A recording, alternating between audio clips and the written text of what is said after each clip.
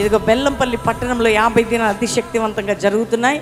ముగింపు సభ అక్టోబర్ పంతొమ్మిదో తారీఖు సాయంత్రం నాలుగు గంటలకే ప్రారంభించబడబోతున్నది. ఏ దేశం ఏ రాష్ట్రం ఏ పట్టణం ఉన్నా మేమందరం కలిసి ప్రేమతో మిమ్మల్ని ఆహ్వానిస్తున్నాం.